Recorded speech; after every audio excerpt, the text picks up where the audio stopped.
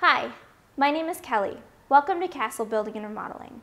I would like to provide you with some information when considering tile.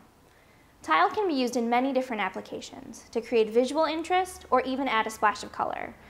Our leading provider of tile is American Olean. Their motto, freedom of expression, can be seen in the variety of products that they offer. Ceramic and porcelain tiles are both offered in a variety of similar colors and styles. Each material comes in a wall or floor application and allow you to accomplish many different looks in a space. If you decide on a ceramic or porcelain as a field tile, which is a term that refers to a general tile that covers a large area, don't forget about a coordinating bullnose. Bullnose tile has a finished edge and protects you from sharp corners and edges. When using tile, consider an accent of a mosaic, including a glass, stone, or a mix of both.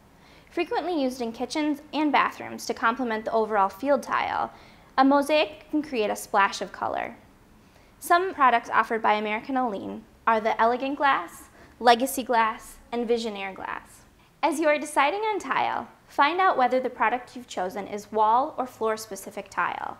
Some products offered by American Olean can be used in both instances, or should be used only on the floor or only on the walls. Don't forget about grout. There are many different colors out there, but the most important thing to remember is to use a, an unsanded or sanded grout.